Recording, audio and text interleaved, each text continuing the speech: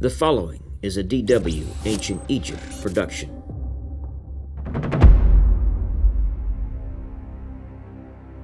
Queen Neithotep holds a significant place in ancient Egyptian history as one of the earliest known female rulers.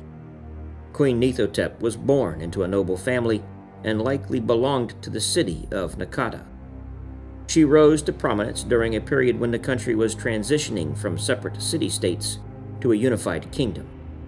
Her exact connections and lineage remain a subject of speculation and ongoing research. Neithotep is believed to have held the title of queen and regent during the reigns of her husband Pharaoh Narmer and her son Pharaoh Hor-Aha. As regent, she assumed the responsibilities of governance and exercised power on behalf of her young son, which speaks to her elevated status and authority. Her presence and influence likely helped to consolidate the authority of the early kings and foster a sense of continuity.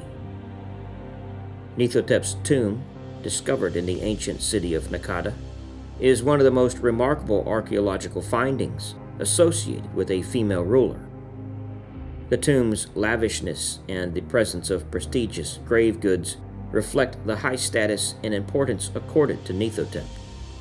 Neithotep's tomb was unearthed in 1897 by British archaeologist James Quibell during excavations in Naqada. Naqada was an important settlement during the pre-dynastic and early dynastic periods of ancient Egypt and served as a center of power and influence.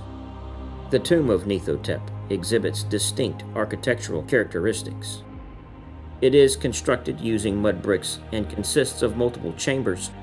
The tomb of Neithotep yielded a wealth of artifacts and offerings.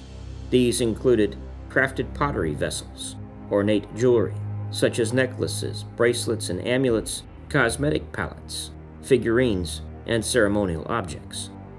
The quality and craftsmanship of these items demonstrate the skilled artistry of the time and the value placed on providing Neithotep with items befitting her status. Neithotep is closely associated with the goddess Neith, a powerful deity associated with war, wisdom, and creation. This connection suggests that Neithotep may have had a special religious role or patronage.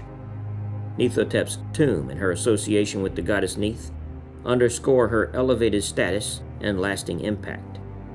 Through her achievements, Queen Neithotep has become an enduring symbol of female empowerment and a testament to the complex social dynamics of ancient Egyptian society.